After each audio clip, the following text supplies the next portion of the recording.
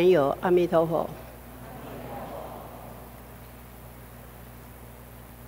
又是共修的时间。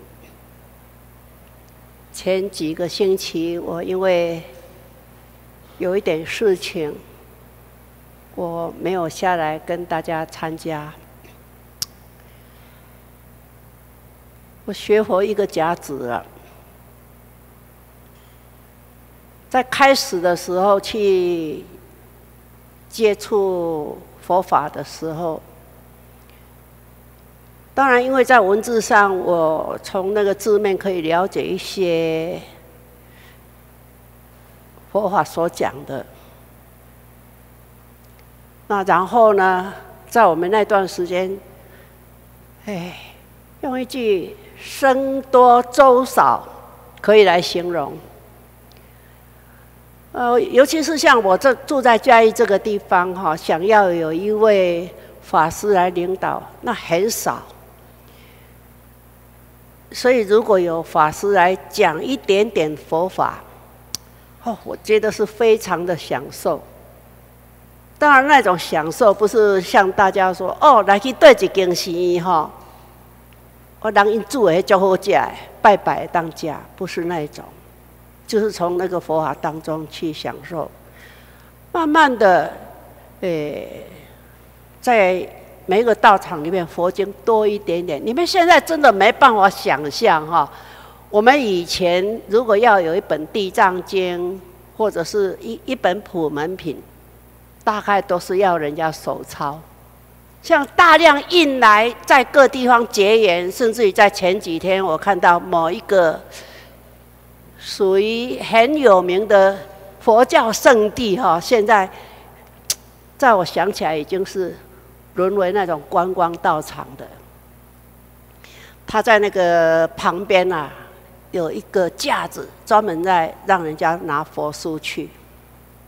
我那天听到那个管理人在讲说：“拜托恁大家忙，佛经去印印的提提啦吼，我要车一下干吼，完了都还个叫车。”我心很痛呢，为什么我们那时候要想要有一本经，哪里去找？甚至我到电台去，真的要想要找一本经，没有。好不容易哪一位法师他有可以去请来，现在不是。那他们现在就说善书了，甚至于我一看那个《地藏经》《普门品》其他的经本叠那么一大叠。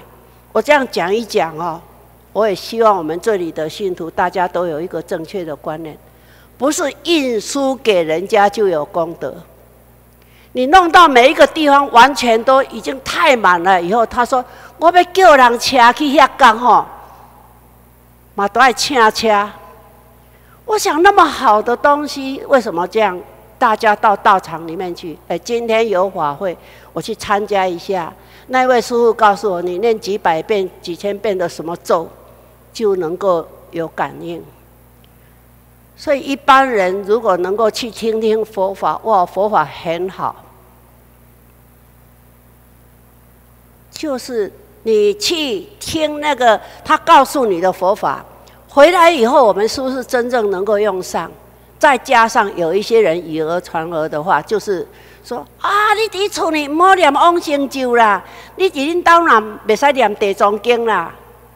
啊，你都已经无身体你无好啊，你搁念念的鬼拢来找你。这种观念，我看在我们那个时候可能很容易受影响，可是一直到现在还是有啦。前几天有一位。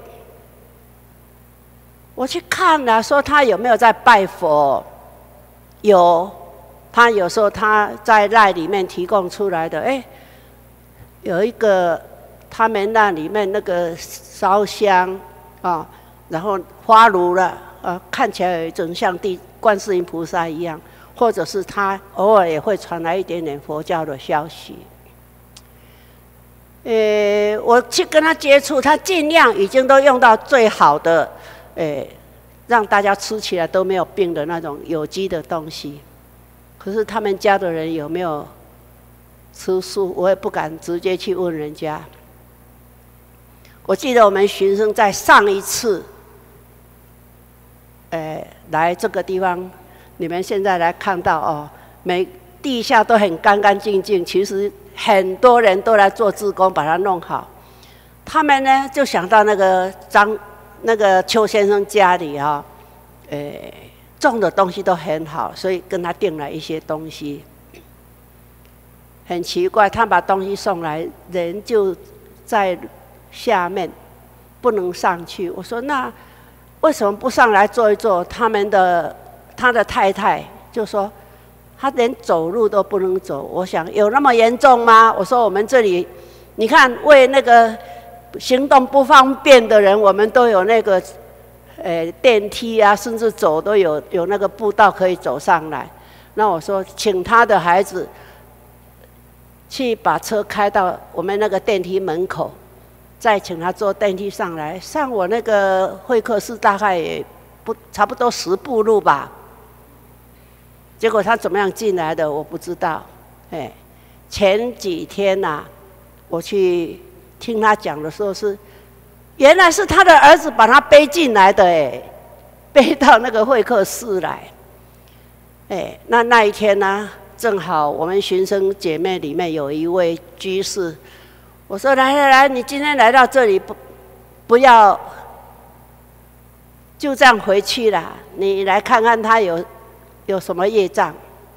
哦，他跟他讲到他的，他打了八百八百多只那个野鹿哈，都是不是打的，是用那个捕捕兽器哈，把人家的脚夹断。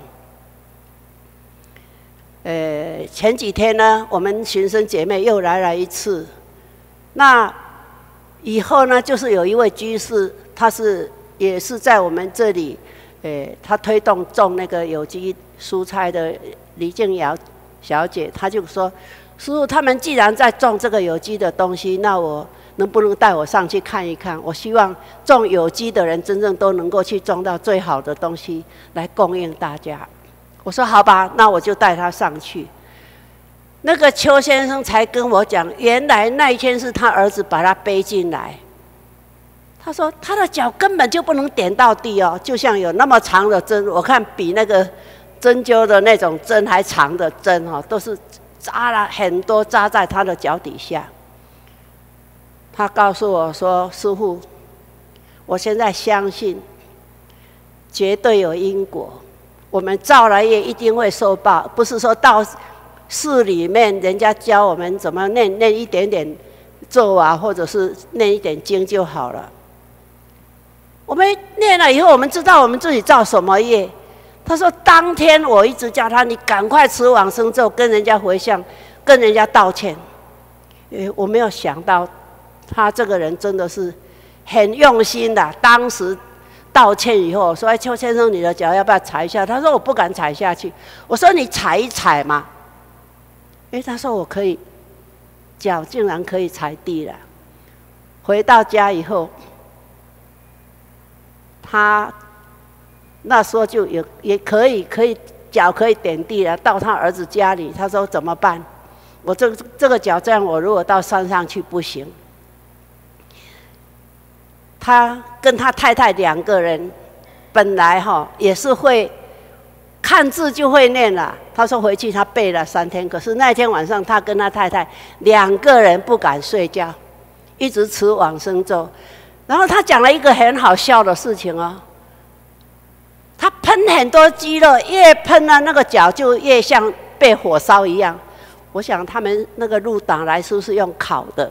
哦，事后那天，那个邱先生有跟我分享说，我们家我们在山上，那个爸爸可能是村长吧。那我讲那个路是过去生的事情，啊，他说这一世哈，真的我们也有打猎，还有以前有跟我上去的人就看到他的院子很宽，他竟然有一个箭靶，他们每天有空农忙以后就射箭。他说我的箭法很准。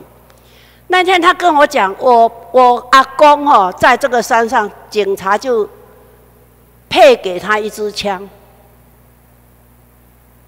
哎，那是五六十年以前的事情，配给他为什么配给他一支枪？山上啊，如果有野兽出没，村民如果来说求救啊，赶快这里有有有那个野熊啊，还是什么哈，会来骚扰的时候，他可以拿枪去打死。他说后来他的阿公去世了，就把枪传给他爸爸。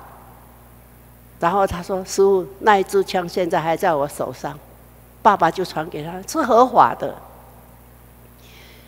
哎，他说那天。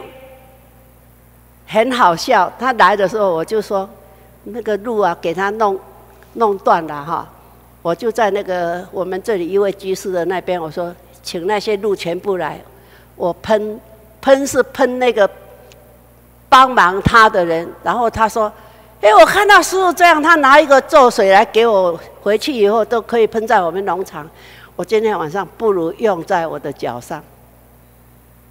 然后呢，他喷在他的脚上以后，他说很奇怪，越喷越凉，越喷越凉。什么时候睡着他不知道。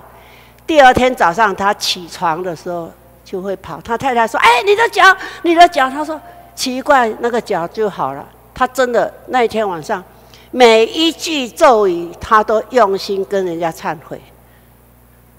他现在还问我怎么样呢？他说：“师傅，我们以前不是没有念。”连我在炒茶的时候，我在炒咖啡的时候，我都在念大悲咒，然后我有念观世音菩萨，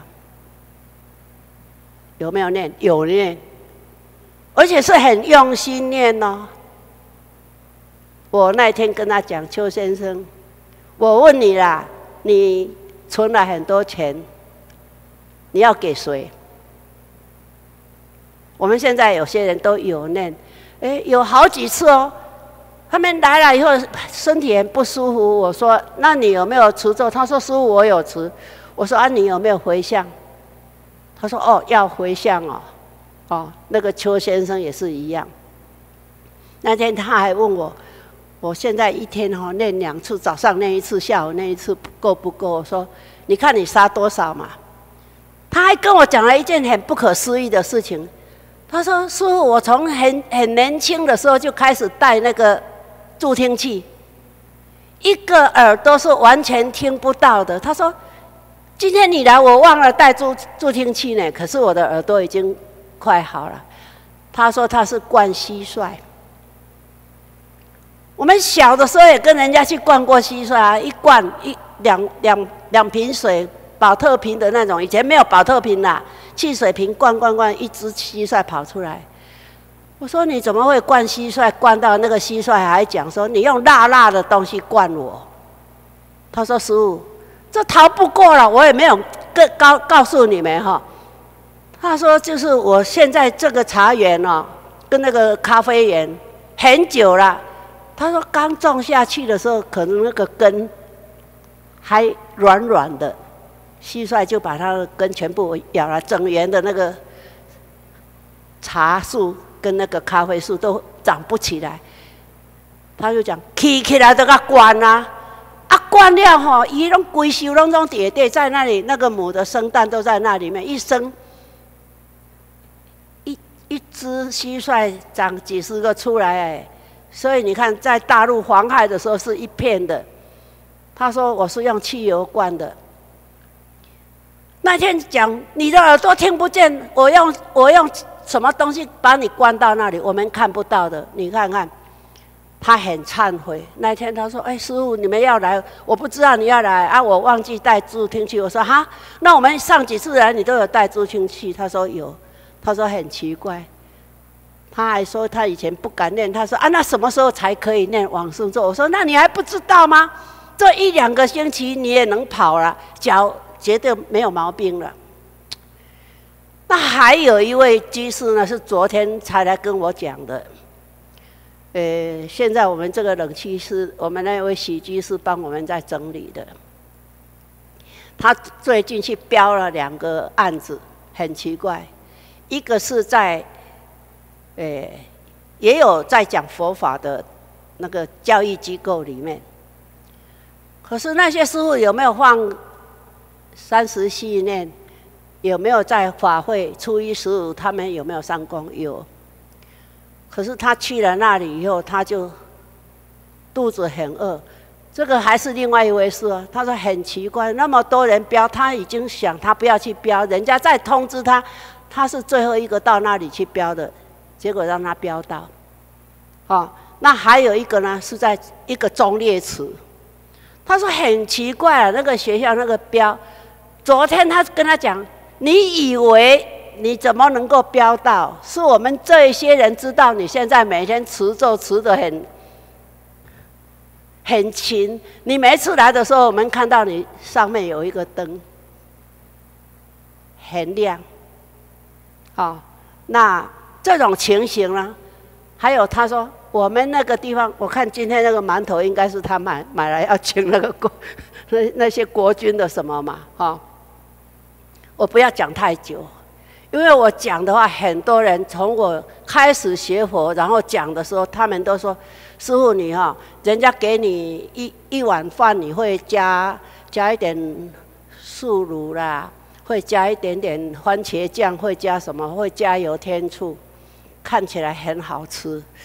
其实哈，我听来的东西我还讲不到一半。啊，最近我们有一位王教授。”我看他今天是他父亲呢，是满期，他们每一个星期天都到这个地方来。王教授会到我们这个地方很偶然哈，就是他是在台中教育大学的教授。那以前呢，常常来我们这里的杨校长呢，就是从那个学校退休。那杨校长平时在他们学校也讲到自己是学佛。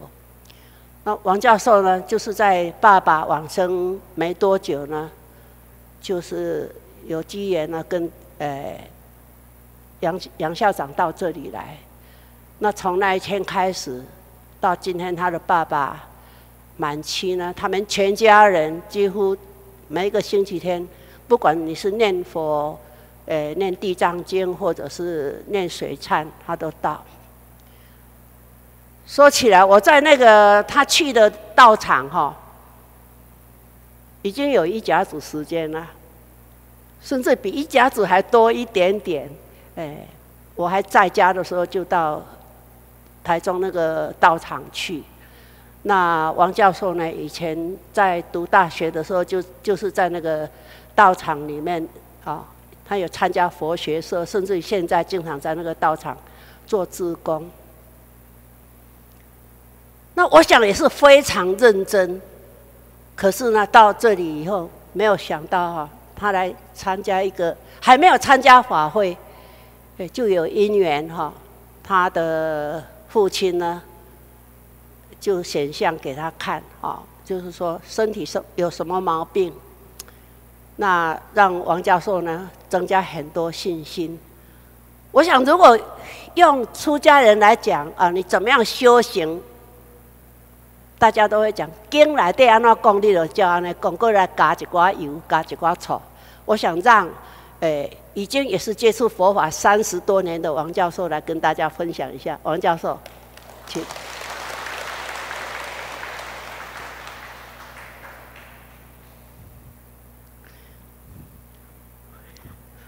我想王教授的感受一定很多，因为什么呢？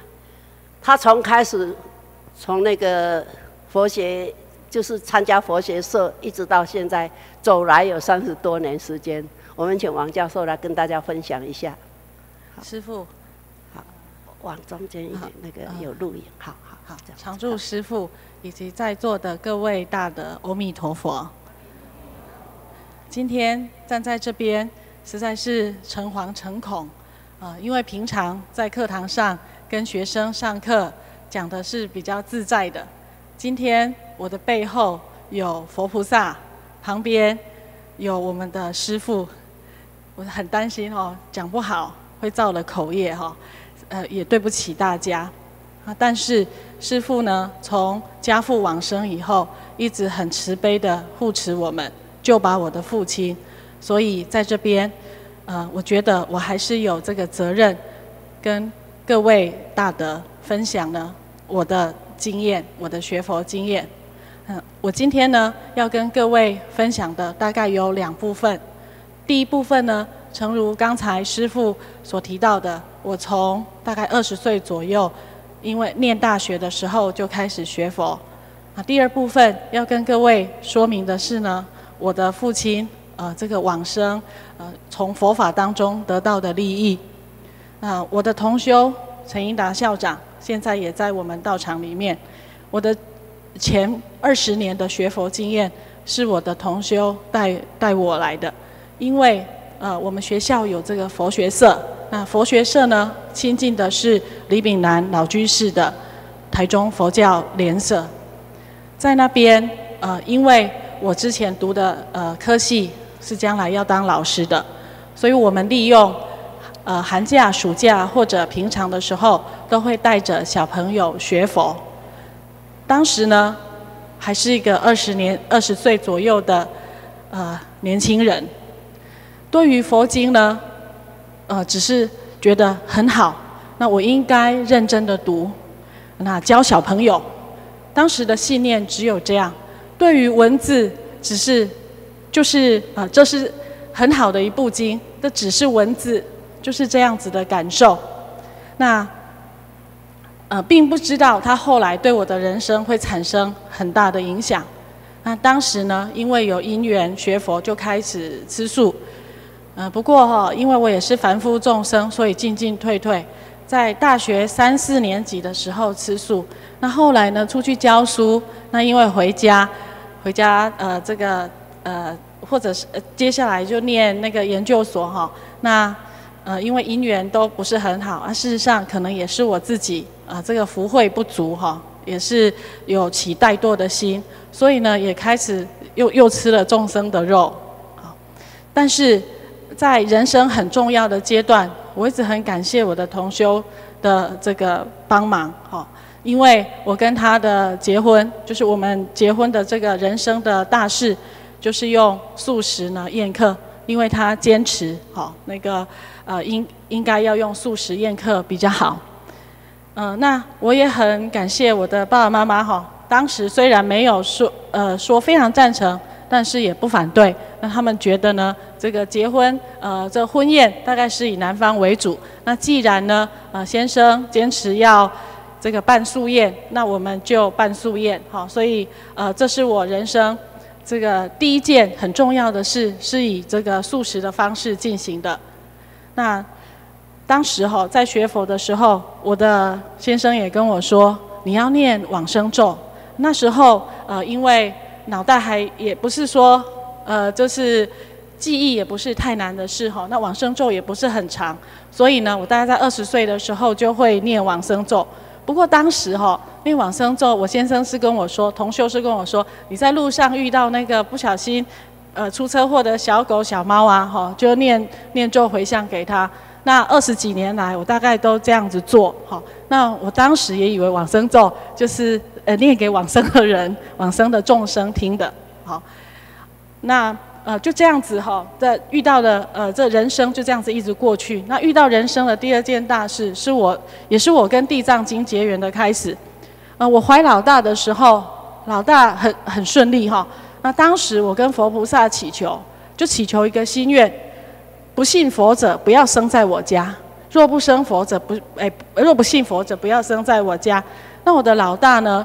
呃，让我怀孕的时候没有太大的痛苦，然后呢，也梦到呢这个很好的这个景象，啊，梦到彩虹啊，很漂亮的景象，啊很乖啊，我也没有什么怀孕不适的情况。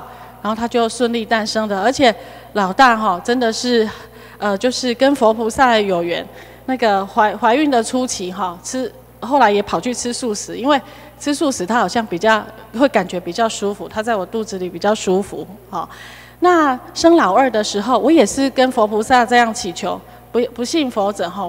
勿生我家啊啊！但是这个老二就，我现在还，他现在已经十二岁了，我还是跟他讲哈，妈妈怀你的时候哈，实在是很特别。那怀孕前三个月，我每天到了半夜两三点就醒了，做噩梦醒了。那噩梦的内容是什么？不是被人家追杀，就是掉到那个悬崖下面去。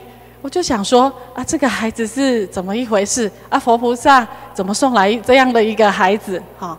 那我的同修又跟我说啊，不然呃，你既然哈夜不安稳，那送地藏经好了，好，那我就送地藏经，然后抄经。啊，我是希望回向给这个孩子，因为我也是凡夫俗子，我也不晓得这个是什么什么众生来投胎的哈啊。但是不管怎么样，他跟我有缘，那我就就诵经、抄经回向给他哈。那各位大德都知道地藏经很长哈啊，因为我也算在这方面也是挺驽钝的哈，所以刚开始诵经都诵很久，一部经大概差不多要诵两个小时吧，两三个小时才诵得完好。那但是呢，这也是我跟地藏地藏经的这个结缘的开始，因为我之前哈也是都诵比较短的经啦，哈。那呃，这是我人生第二件大事。那平常大概就是在工作，啊，一直到今年的九月二十二号，那事实上我也人生到了中年哈，也开始要面对长辈的一些生老病死。九月二十二号，我的父亲往生了，哈。那在之前，他一直受这个癌症的折磨。那我当时，呃，看到父亲这么家父这么痛苦，我想应该是，呃，有一部分哦，特别到最后哈扩散的时候，应该是这个业障现前哈。因为呃，他其实的癌症已经有这个两年多了，可是呢，从今年六月开始，六月底开始，他突然肚子非常非常的痛。但到各大医院去都检查不出什么原因，好，那一直到八月底，呃，由这个中山医大的医生呢，就跟他说，他可能是原来的膀胱癌扩散成这个腹膜癌，哈，很严重。那当时我其实心里非常的呃难过，哈，因为我因因为医生跟我说你要做好这个心理准备。那我当时的呃一过去的学佛的因缘让我。第一个想法是，那我要赶快跟我爸爸呃找这个师傅帮他皈依。那后来呢，又请了一个师傅很慈悲哈，因为我爸爸已经离不开医院了，就真的到医院去帮他帮他皈依。那我爸爸是身体不好，但是意识还是很清楚。那他的这个生前哈，其实也跟大家很多众很多很多人一样哈，就是呃也他也没有吃素啊，也会抽烟啊，也会喝酒。哦，什么什么他都会啊！更年轻的时候还会这个吃槟榔，好，那这个呃就是跟一般的凡夫俗子一样哈。所以他要往生的时候，其实我非常的紧张，因为我很怕那个他的这些冤亲债主会来找他。那我记得呢，最后我要往呃这个医院哈，医那个医生要签要通知我去签病危通知书的时候，我的先生哈，就我的同修。他跟我说：“哈，你最后一里路了，我爸爸的最后一里路，我一定要这个撑住。哈，那过去的那个佛学啊，因为我心比较乱，他会在旁边提醒我。哈，那后来呃，这个就九月二十二号那一天哈，那我爸爸就这个就就呃这个不敌病魔了哈，往生了。那呃，我过去。”呃，这个认识的老师啊，哈，还有亲近的莲社，他们也很好哈，啊，请了这个师姑师伯来为我爸爸助念了八个小时，好，那呃后面的四个小时也是我同修坚持要念，他坚持一定要念到十二个小时，所以呃这个这个我们就呃按照佛法说的哈，第一个一定要先助念，可是助念完之后呢，我心里其实还是会紧张哈，因为我想说，虽然我爸爸。呃，当时就是呃面色好，非常的这个祥和，呃身体非常的柔软，就好像睡着一样。可是呢，当女儿的还是很想知道爸爸到底会到哪里去。那之前呢，刚才陈如师师傅说的哈，我的老长官就是台中教育大学的杨思伟校长。那之前呢，因为呃做研究的关系，所以有机会呢亲近杨校长。那杨校长呢？他偶尔就会提起呢，他学佛的一个经过，啊，也会提起到呢，他呃，这个有就是说有机缘哈，能够帮助一些受苦难的众生。那我那时候就怀着诚惶诚恐的心哈，我想说校长平常也很忙哈，那我我就写个简讯哈，跟校长报告我是我爸爸往生了哈，啊，没想到哈，这个真的是校长也非常慈悲，他就真的呃从这个。嘉义，他因为后来在嘉义服务，就到我我家，就亲自来看心仪，哦，那他坐在那边哈，因为校长也是有德性的人哦，他就感觉到他的身体好像不是那么舒服，他就提醒我，提醒心仪说，他感觉好像我爸爸没有那么舒服哦。那我身为人子哈，我就很紧张，因为我年轻学佛的时候看过一句话哈，上面写说，亲得离成垢，子道方成就。平常的孝顺是应该的，可是为人子女最重要是要让父母能够脱离六道轮回。当时年轻哈，二十年前没什么感受，他就是一句一句话。那校长呢，他来我家跟我说父亲不是很舒服的时候，我我就很紧张哈，我就想是不是我们哪里没有如法没有做好，让父亲呢这个很不舒服。那这个。后呃，这个校长呢，他有提到哈，就是说呃，在嘉义他有亲近一位师傅，于是呢，在我父亲出殡之后，我又第二次鼓起勇气哈，打电话给校长，好啊，是不是呢？可以来呃这个极光寺跟呃师傅呢，这个来来见师傅啊？那校长呢，他也他其实。呃，这个很紧张哈，校长人很好，那他为什么紧张呢？他很他担心了那个心仪呢，把这个极光寺看成那个当地噶斗桃的那个场所，啊，他一再一再提醒我说，这里是一个正信佛法的地方，哈，那不是说这个你来哈，就是只是要问事情哈，不是这样哈。那后来呢，蒙校长跟那个黄子恩师姐。他们呢非常的慈悲哈，那帮心仪呢联络这个就是联络四方，然后也得到师父的首肯，我们才进到有机会进到这个极光寺。那在这边哈，真的是第一个，我父亲呢，因为师父哈，我对师父真的是非常的感恩，因为师父的帮忙，让我爸爸呢，因为癌末往生的痛苦能够没有了，不只是减轻，而是没有了。那他呢？他的这个呃魂魄才能够好好的跟随着我们念佛。那又因为师父跟常住师父的慈悲，我父亲他的牌位才能在这边立了一个牌位。那师父的这个交代啊，希望每个礼拜，不管是念佛或是地藏法会，好或者是水忏，呃家里都要来。啊，我回去呢，就跟我的这个呃兄弟讲，好，那他们也都很好。他们呢，从从我父亲往生开始，哈，就我们拜也拜素的，好，那呃家里呢也都吃素。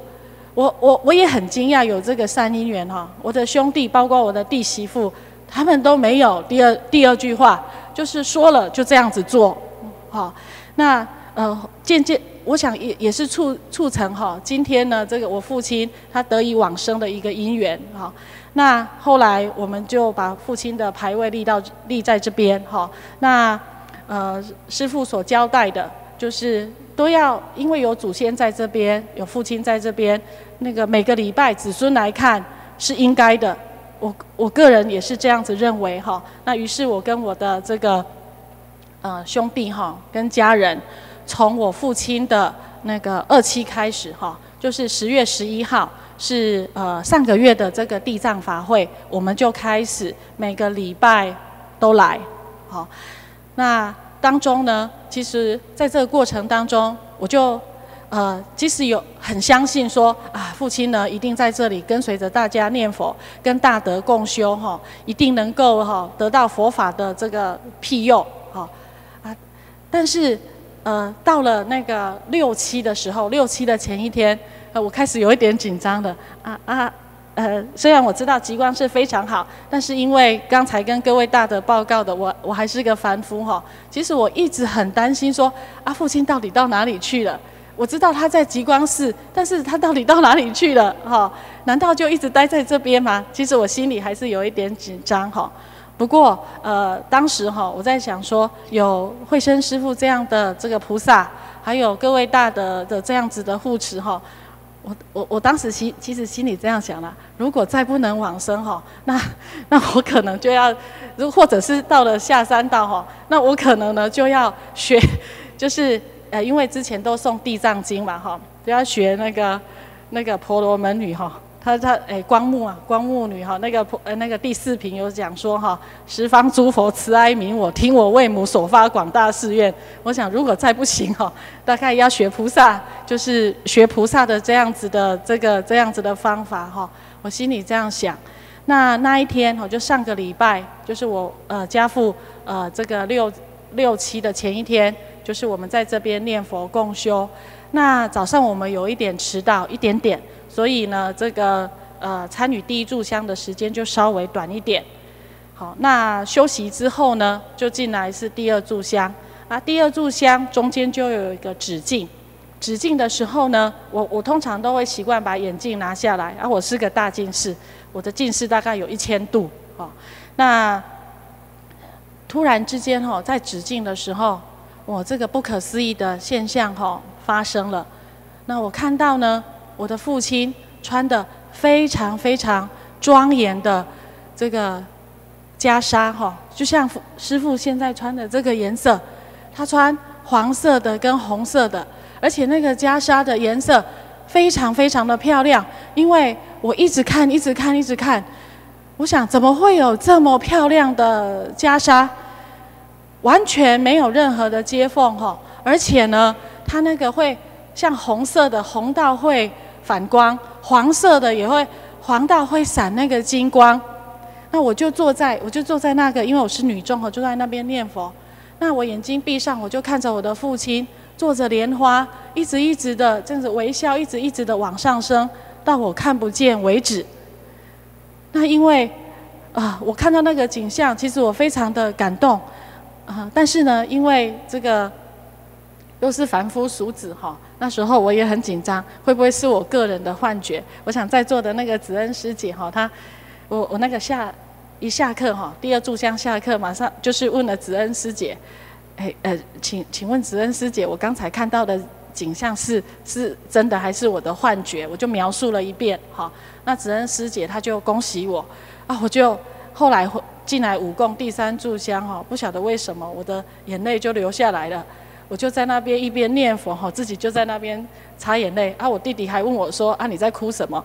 我不好意思，我跟他讲经文写的太好了，我很感动。好，那呃后来呢，这个呃我心里哈想说，用完五善一定五供哎五呃这个五斋要一定要再上去哈，再当面跟呃师父这个请示，因为在我心目中哈，我觉得呃。师父啊，其实他就是地藏菩萨，哈。那因为我是凡夫，我想一定要这个菩萨亲自跟我讲一下，我才比较安心，啊。于是呢，我就请示了师父，啊，师父也很慈悲，他就说哈，你爸爸就是视线给我看，哈，他叫我要有信心，好，那时候我的心里才放下了，啊，我的爸爸终于在这个六七的时候，啊，因为呃家人哈一心。呃，这个很期待父亲呢能够脱离六道轮回，那一心的这个念佛，包括我弟弟哈，我的小弟弟，他本来都，他本来呃也不太相信佛法，但是从父亲往生之后，他非常的认真念地藏经，啊，非常的认真念，好，那我的妈妈，好林阿美女士呢，她本来哈往生咒也不太会念。啊可是呢，她在父亲的这个呃七七的过程当中，他也呢会背这个开始就是会背的往生咒。刚开始是看着那个呃常住师傅给的那个小小的这个这个小抄哈，就是那个呃那个一一卡片对啊，那他是慢慢念就会就会了。然后呢，我的这个大弟弟呀哈，他平常也会持咒。好，那因为大家的努力哈，一条心，然后呢，呃，让我爸爸虽然他呃在我们这一世哈跟我们结缘的时候，看到的是一个就非常就是呃就普通的一个爸爸哈，那他生前对佛法不不禁止我们学，但是他也没有非常的好药，哈，那他在生前最后的时间受了很多很多的这个病魔的折磨，哦。我们也非常不忍心，但是他今天能够得到一个非常好的去处，呃，我们真的是呃，对我们学佛哈会更有信心，好，那这样子一路二十几年来的这个学佛的过程哈，从年轻刚开始就因为大专生学佛嘛，就会觉得说呃就是诵经啊，然后连诶读经啊，但是呢，人生真的到了很多的关键的时候，特别是自己的至亲呃这个往生的时候，我想是佛法哈，它呃最重要的呃一个。呃，对我们最重要支持的部分，好，那我现在回想起来，年轻的时候，呃，这个联社的师长总是跟我们说，哈，生死事大，生与死是人生最重要的事情，这件事情最大。当时我也是懵懵懂懂的，哈，因为呃，年轻人哈，那时候呃，这个理呃能够记住，但是不太理解，好，那经过了这样子的事情之后呢？呃，这个，呃，我觉得这个我们家，呃，因为父亲的往生，受到这个佛法的益处，真的是很多很多，哈。那今天哈，这能够有机会站在这边，也是真的是师父的慈悲，哦，因为呃，呃，我其实来，呃，这带爸爸，哎，就是家人哈，来极光寺的时间不多。那今天哦很特别，我们我爸爸的我们来极光寺是以地藏法会开始的，就是上个月的十月十一号。那今天七七呃的前一天也是地藏法会，好，那这个因缘哈我们也觉得很殊胜，好，那呃因为跟极光寺跟师父的亲亲近师父有机会这个得到师父的呃这个帮忙哈，真的我父亲真的是。蒙师傅帮忙很多，还有这个常驻师傅的鼓励，以及呢子恩师姐跟杨校杨校长的帮忙哈，真的很多很多哈。那今天能够呃有这样子的父亲能有这样的好的去处哈，虽然我来这里的时间不是很长，那子恩师姐呢今天有特别跟我说，呃五五供完之后呢要做分享，其实我真的是很诚惶诚恐哈。那但是因为得到非常非常多的人的帮忙，哈，所以在这边哈，呃，这个还是借这个机会，虽然刚开始会觉得很害羞，这个不好意思跟大家大家讲哦，因为毕竟自己还是很才疏学浅，还是很驽钝哈。那但是呢，这个希望哈能够呃借由这个因缘啊，这个机缘，呃，跟各位报告呢，嗯。跟各位大德报告，呃，家父哈往生，我所看到的一个景象，啊，希望能够呃让各位大德好在学佛的路上能够更具信心，因为呃有了信心，呃学佛法哈，我们才能持续，才能长久，呃才能够呃得到这个佛法给我们的帮助啊。不好意思，我没有讲得很好，谢谢。王教授，请留步一下哈，我来补充一下刚才呃王教授讲的，他看到他的爸爸披的袈裟是没有接缝的，这我可以讲哈，哎，我们出家人的就是刚出家的时候受沙弥戒的时候是穿五衣，这个衣服叫做福田衣哈，就是说可以让众生种福田。可是我一直以来，我觉得我披这件袈裟非常重。我是只是来吃吃饭、念念经、持持咒，带着大家念念佛。我觉得你没有让众生真正知道什么是佛法，你是没有办法让人家种福田。顶多来啊，我教你念一个啥物啦吼，然后吃。回家以后抽烟还是抽烟，喝酒还是喝酒，赌博还是赌博，什么都不改变。他的业障改变不了啊！啊，不要紧，你慢慢来。你现在不能吃，以后再吃。哪一天他死掉了以后，他再也不能吃了。业障随挑。所以我经常跟我们家里面的人讲，那个是这个是五一，然后我们礼佛啊是穿七衣，啊那个。五衣应该还是一种作物衣啊，以以前的人，那为什么他要穿有接缝的？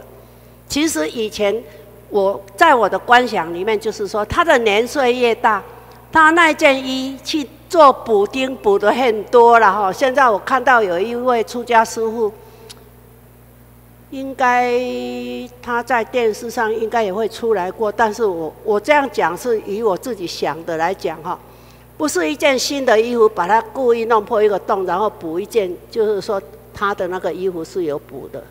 过去的那越老的和尚补的越多哈，那那我们穿的那个九条衣是说法衣，啊，这二十五衣大概就是说，呃，修行比较久的然后，其实那个方丈大概都是二十五衣。事实上，我是觉得，从我披这件衣服，我觉得我很惭愧。我哪一天是不是这个人他不在佛法的正法上走，然后。我们还认为哦，你是大护法了哈，只要你能够讲几句啦，甚至还在吃荤，还在做做什么造什么业哈。那所以出家人穿的一定是有接缝的，这个叫做福田衣哈，一一方一方的田。其实我常常在讲，我们是不是真正能够去做一件很好的事？像今天我看哦，坐在这里哦，一共有。下面有五位校长，都是跟那个杨校长有关系、有结缘。像那边的那个林校长哈，他也是已经呃那个退休了。还有后面那边还有一位陈校长，也是跟你的先生也是陈校长哈。那前面还有庄校长，好几位校长，还有教授、老师都是从台中来。那个杨校长哈，你没有看？没有看他在平时哈一直在讲佛法，事实上他也是只要有机会就让大家能够去了解很多佛法。现在我是想，刚才呃王教授有讲到一件事情，家不是你好猛醒的，但是我相信那个呃那个王老居士啊，好他能够到最后，因为王教授还有他的弟弟，他们大家都很用心念地藏经。我那天好像还有一点记忆，说你念了《地藏经》，所以地藏菩萨把他带带出来哈。然后有一件事情，就是说那个王老先生呢，他自己真正脱离痛苦以后，已经往生了，还很孝顺。你想一个哀莫的人哈，身体一定叫不好。但是我的记忆中，那个王教授呢，他一看从。出来的那一位真的是他父亲的那种病的状况。那在第二个星期、第三个星期，就是那个爸爸四期的时候，哎，那一天呢，妈妈也来了。其实三期的时候，妈妈已经，爸爸又说要带妈妈到这个地方来啊。那王教授先开始是带一位弟弟，后来就是，哎，第二个第二次呢，就是全家的哈，他们全家人都来了。那我说，如果没有那种因缘，我是没有办法说让爸爸出来讲话。妈妈很着急了哈，可是四期的时候，我记得很清楚，不是爸爸要跟妈妈讲话，那个女婿我很感动，当时我很感动，坐在那里，我想一个人哦，他了解了佛法，了解他能够解脱痛苦以后，就把爸爸背来。老丈人呐，就把老丈人背来哈，哎哎哎，把老对把老丈人背来哦，让他来得到那个解脱。我想，我请王教授再讲讲爸爸那天出来的情形，这是要增加你们的信念。真的有造业，一一定有果报。那如果真的是转了念头以后，真的能够解脱，哦，那就是说那个外公出来跟那个爸爸出来的情形，我请。王教授跟大家形容一下。好，好是，呃，呃，来极光寺哈，呃，第一次来见师傅的时候是呃十月九号。那一次呢，就是刚才跟各位大的报告的哈，就是蒙这个黄子恩师姐跟杨校长的帮忙，能够呃第一次拜见师父。那师父也很慈悲，开示了呃一段佛法之后呢，呃我还是心里就是比较着急哈，有跟师父请示说，是不是可以呃让我们见见爸爸哈？那这时候呢，这个师父就说，那你们呃就是按照这个呃。规矩哈，应该要先请示地藏王菩萨，所以我们就礼礼佛礼了二十一拜。那之后呢，爸爸就借了子恩师姐的这个身体哈，来跟我们讲话。那从他的一些动作，我们就知道这是我爸爸，哈，讲话的神情动作，就是他在世的那时候受病痛折磨的那个样子，好。那一直说这个肚子很痛，因为我爸爸是，呃，这个膀胱癌，哈，后来转这个腹膜癌，都是在腹部这个部分。那他一直说很痛，哈，那没有办法吃东西。对不起，我插一下话，其实子恩根本就不知道那个汪老先生是什么病，对。所以一出来，那是真的是那位老人家。是，是，那他也不能吃，也不能喝，哈。那一直说很痛很痛啊。当子女的哈，当然是心急如焚啊，因为没有办法替父亲减减轻痛苦哈，这心里真的是很难受。那师傅他就呃经过师傅的这个救拔哈加持，那爸爸的病痛就解除了哈。那因为爸爸一直跟我们来哈，所以呃，在师父跟子恩师姐的对谈，还有呢跟我们开示的时候，那爸爸有听到呢，这个西方极乐世界是个非常就素也说在，他用台就是当时呢，呃，我们有时候讲话的过程会用台语讲哈。那到最后呢，这个爸爸的病痛解除之后，那我问爸爸呢，他有什么心愿？啊，爸爸说哈。他第一个是说，他希望呃能够带我妈妈跟带更多的人来，好。那第二个心愿呢，是他希望呢能够贴就睡就睡也收窄，好。那旁边的常住师傅啊，就甲讲吼，啊你若要去就睡也收窄，你爱念阿弥陀佛啊。于是我们就开始念阿弥陀佛，阿弥陀佛。就在这个阿弥陀佛的这个呃这个佛声当中，我爸爸就离开了子恩师师姐的身体，好。那因为呃那个爸爸有交代说，希望妈妈能够来，还有更多的人能够来。呃，那希望那时候我回去哦，身为子女的，我就想，那一定要想办法请妈妈来。那更多的人来，我想更多的人是谁呢？好，那那。至少先把家里的人叫来吧，哈，总是比因为我们刚刚开始来的时候，只有我们全家，我跟我同学，还有我的两个女儿，还有我那个一个弟弟，五个人来，哈。那我想下次能够来十个，应该是符合爸爸的心愿，哈，更多的人来，啊。所以呢，四期的时候就隔一个礼拜天，就刚才跟各位呃大德报告的，哈，十月呃就是十月十一号第二次地藏法会，我们就也是这样跟大家念。念经、诵经、共修完之后，用完五斋就上去哈。那呃，这个呃，也这一次也是哈，也拜托那个子恩师姐帮忙哈。那我们一样呢，有去礼佛哈，礼佛二十一拜。那礼完佛之后呢，我就就有一个老人家来了哈。可是，一刚开始我不太知道那个老人家是谁哈。啊，师傅也，师傅真的是，真的是很慈悲。他说：“哎，这、这、这、这个、这个形哈，这个样子啊，哈，啊啊是祥是祥哈，另外另外看，就叫我们自己来认呐，哈。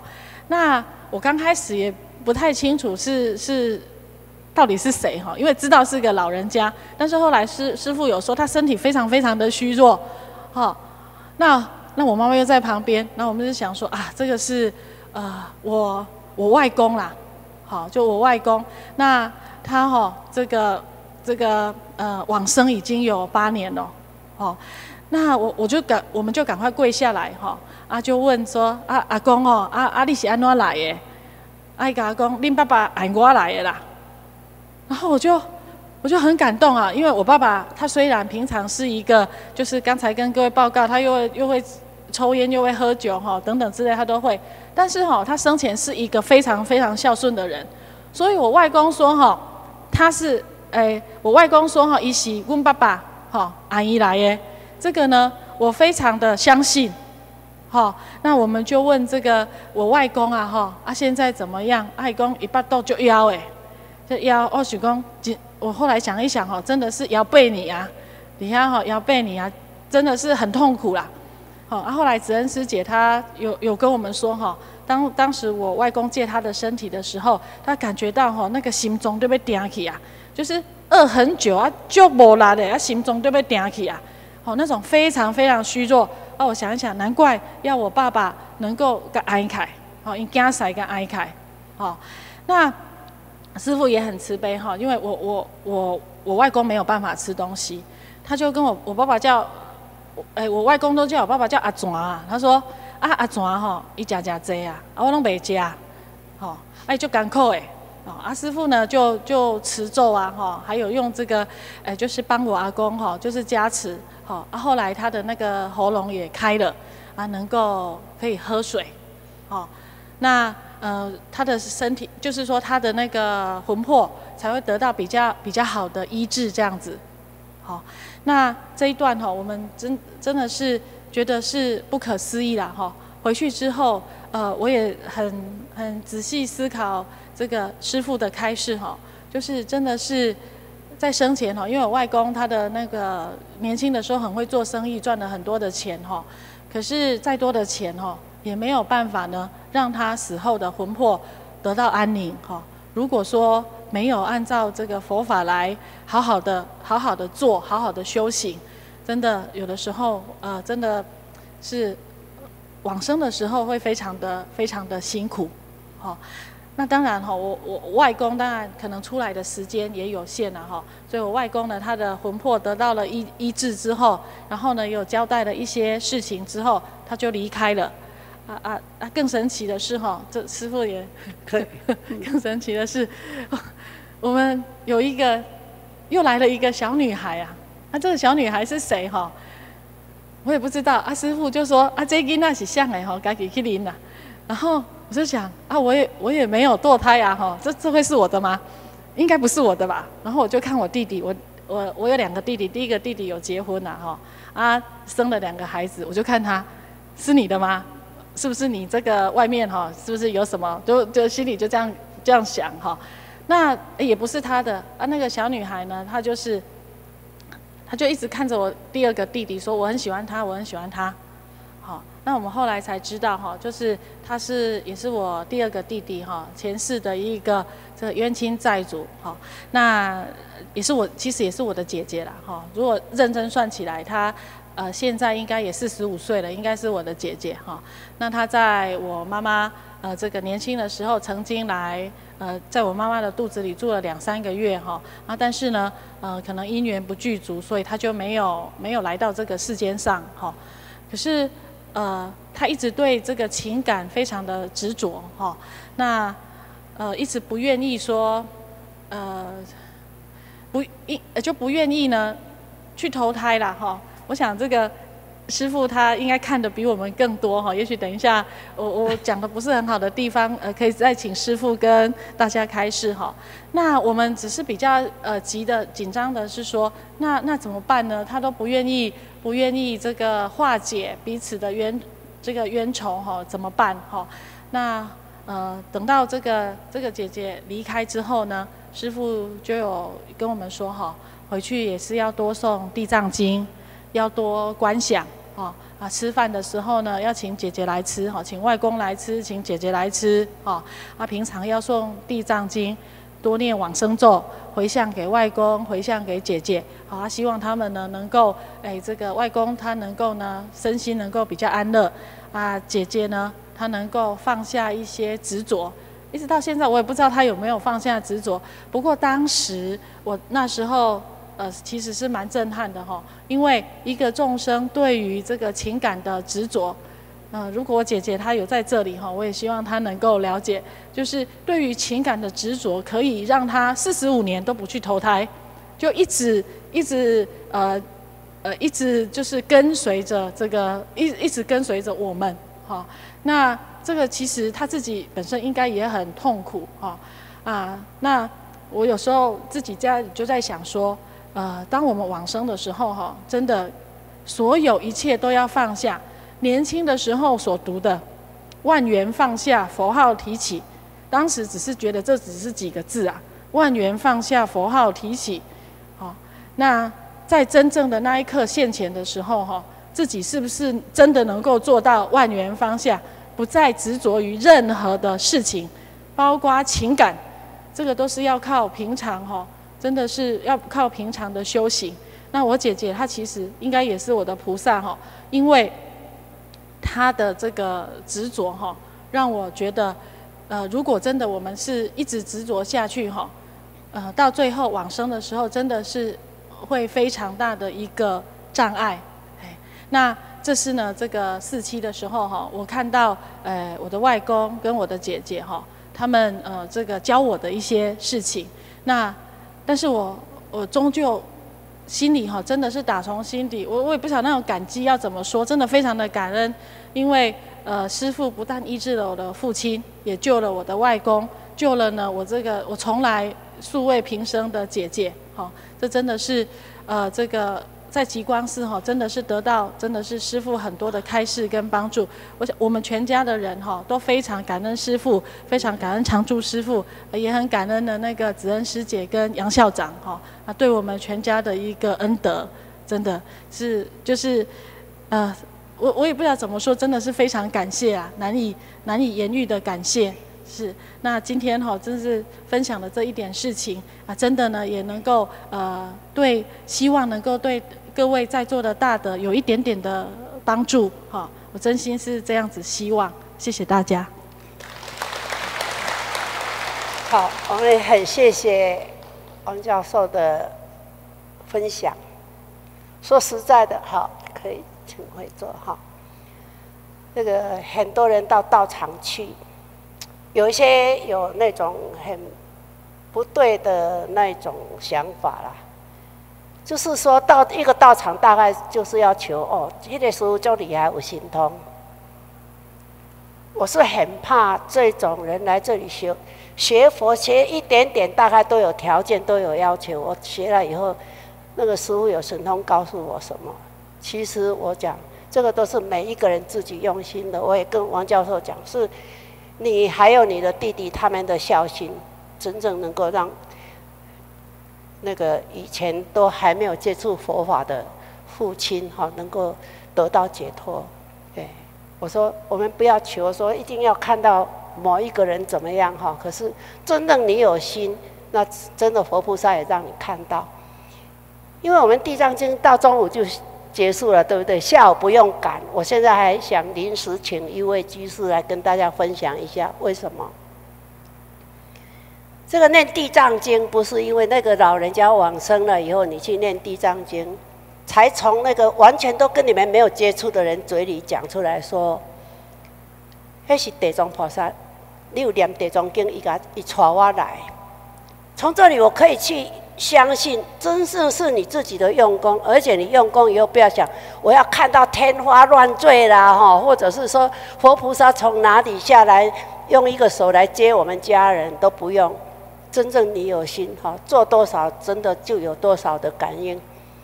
诶，有那个老人家现在还在的哦哈，子女也很很急，但是呢，没有办法。后来我说，哎，你让他来看一下那地藏菩萨的像哈。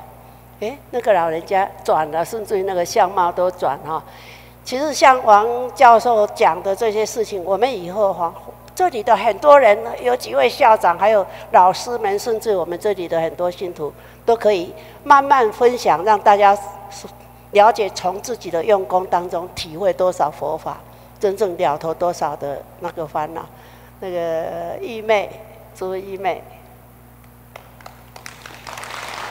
然后今天因为讲到这个地藏经的问题哈，她也是一位孝女，那那个中居士也是一位很。很孝顺长辈的，我觉得他那个中继寺的父母亲往生的时候，他的两个孩子现在都在这里，非常孝顺，在替阿公阿妈哈念佛的时候，几个钟头都跪在那里。我觉得我们出家人有时候那种那种念哈，没有他们那个那两个小孩子都是在大学里面读书哈，这种呢，我当下已经高拐了哈。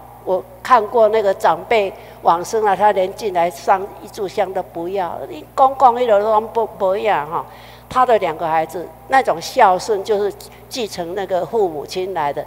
他现在呢，公公婆婆的事办完了，他在担心他的爸爸。然后因为今天哈正好讲到地藏经的问题呢，我请他来跟大家分享一下。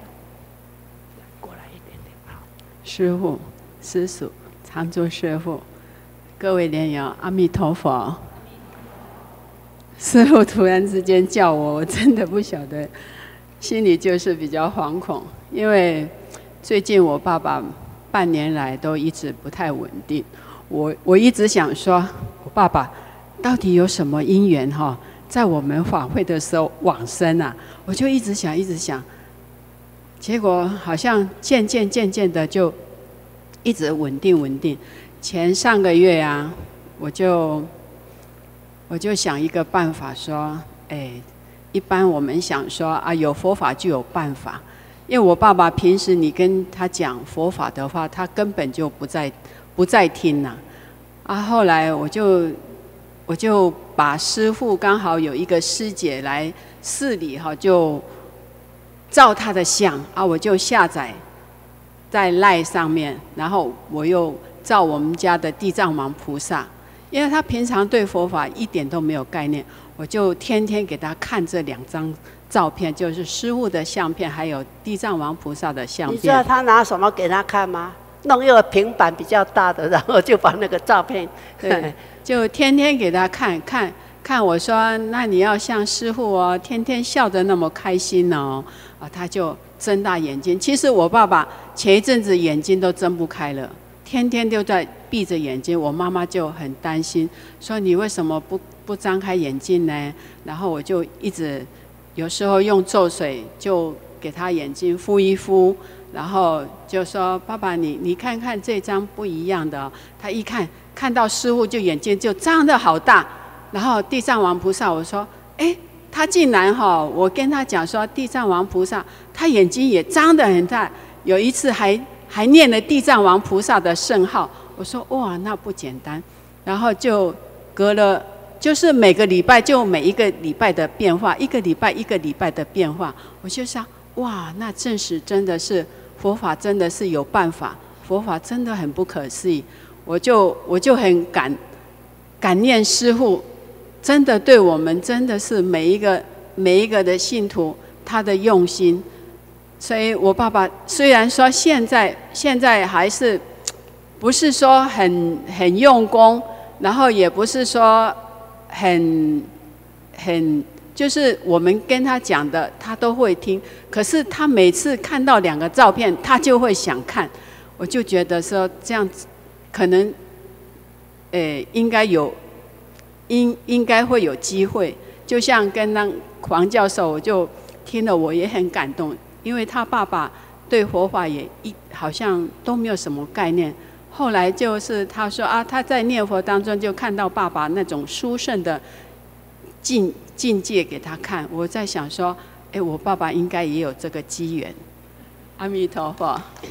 好，好，那个我们这里连友大概大家都认识他，对，你们如果不相信的话，他如果有带平板来，他会可以把他在还没有看佛像，还没有说愿意每次都张开眼睛来看以前。那个相貌变了很多，哎，甚至于先开始那种，呃，眼睛都没有神，到现在看起来眼睛也是炯炯有神哈，所以那种生命的现象真的是会改变好，那这个都是要凭自己的儿女哈，很用心，诶，所以《地藏经》里面讲到光目女，讲到婆罗门女救慈亲这种。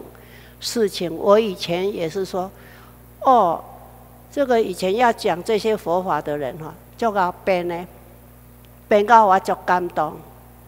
事实上，我到后来慢慢的去体会，为什么我不要我自己是一个凡夫，不要想到那个圣人的境界跟我们不一样。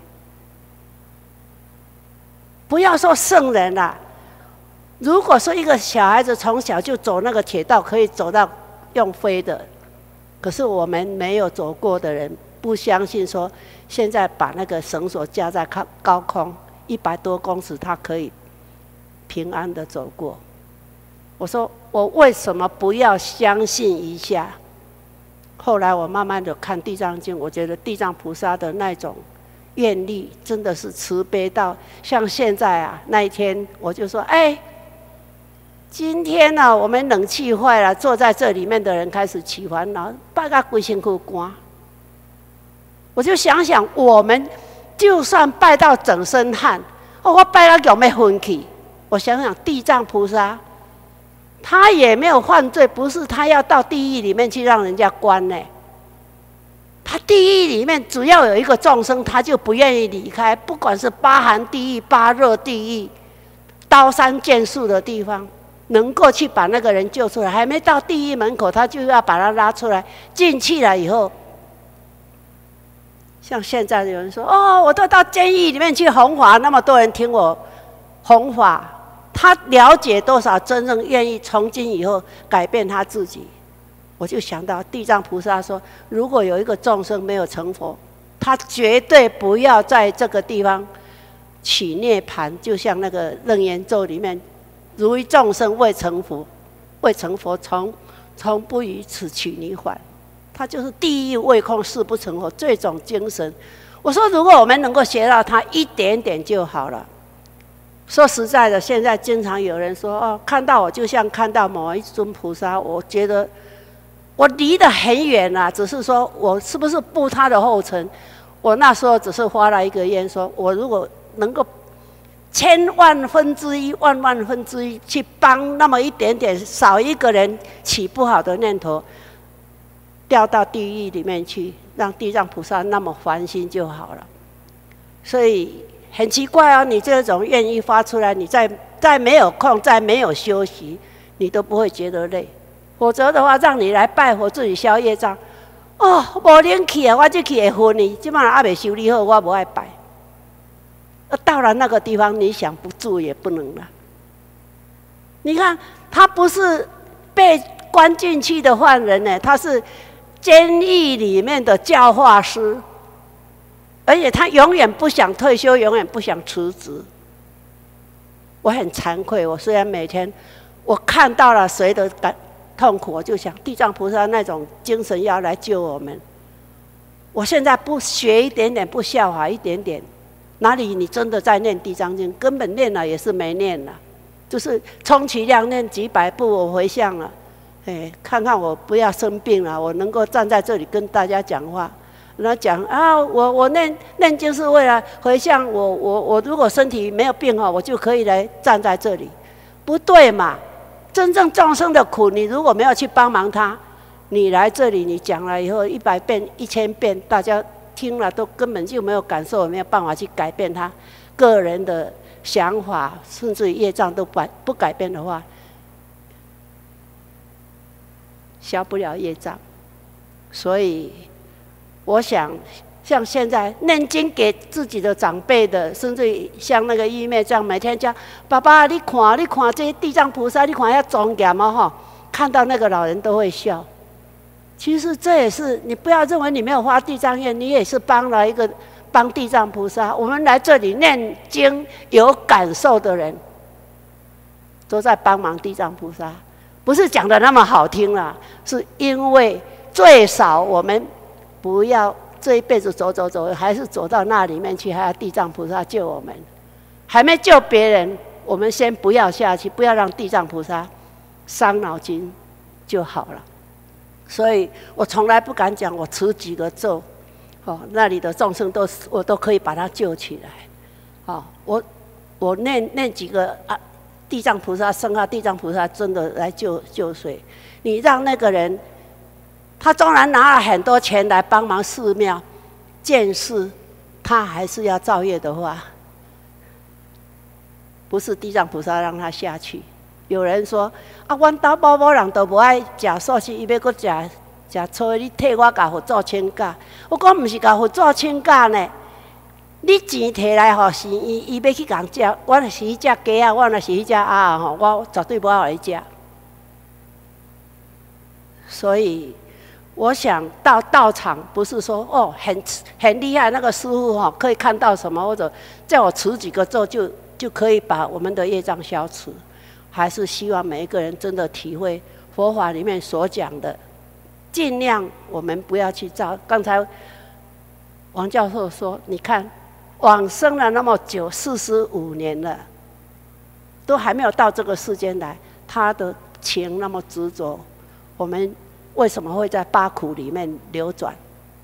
如果你每一次有一件事情，你就是去想到这些。我现在常常想，我最好我不要让众生起烦恼就好了。我不敢讲我能够有什么成就。嘿，我我讲吼，我拢平人较无认真。希望极乐世界我不一定能够去，但是我总希望说，假如我的苦口婆心，我的诚意，能够让大家起一念，认为说啊，咱大家拢安尼来做吼，这个所在都是一个净土，一个净土，哦，那就很好。所以，我们为了我们外面哈，有几位居士很用心去找一个，哎，大大的石头。我看哎，有一粒哦。他们讲那个那个石头，你要不要雕什么？我就想，我下去光是哦，无啦，阿拜人啊来咱家吼，一点也使刻，但是我没有去挑上那个石头呢。我觉得要写长极光净土，不要写极光寺啊，放在外面。进来的时候，他只是看到四个字，没有想到为什么这里是净土。来家的人拢无烧冤家，心肝内拢无咧计算，无咧无咧起烦恼，吼。大家人看到你也看，咱来来这五点钟，这五点钟我拢无起一个烦恼，大家拢足欢喜的，都是诸上善人聚会一次，把这种时间一直延长到回到家里，在社会上我都能够处在那种境界，还要死了以后再到哪里去吗？所以，阿弥陀佛也跟我们讲，不可以少善根福德因缘得生彼国。什么叫做善根福德因缘？不是拿一点钱啊，哦，人家往生的时候，我我就坐在那里念一念几句，然后就说啊，我看到恁爸爸往生去呀。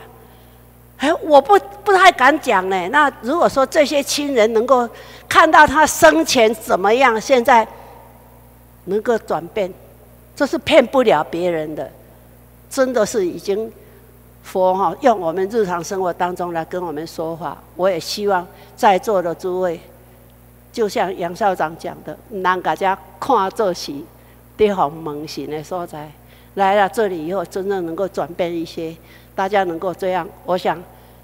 你们家也是长激光净土，以前跟谁计较、顶撞长辈了，甚至于想到我不喜欢的这个，对我个人没有什么益处，我就要讲想尽办法讲理由。我是因为怎么样才怎么样，都不要这样的话。这里就是极乐世界，你的家也是，你的学校也是，把你的学生都看成啊，来这里，大家我们用一句什么样的话，能够让他们很圆融的去了解事情？哪里不是西方？连那个监狱里面也是西方，连地狱里面在地藏菩萨来看，全部都是西方。阿弥陀佛，好。